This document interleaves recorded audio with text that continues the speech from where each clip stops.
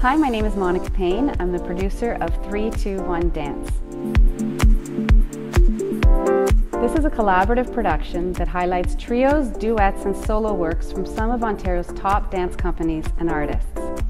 This year, 321 Dance will showcase the iconic choreographer and performer Robert Desrosiers as he performs his solo work on stage with a live musician, the work entitled At the Bottom of the Pool.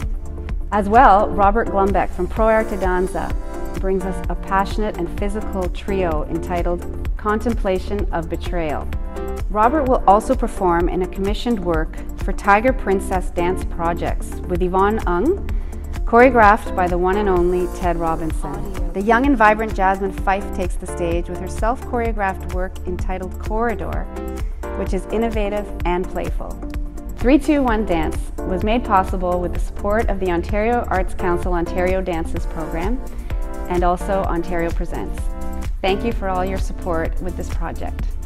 Check out the hashtag 321DanceOn and like us on Facebook, 321Dance. Hope to see you there.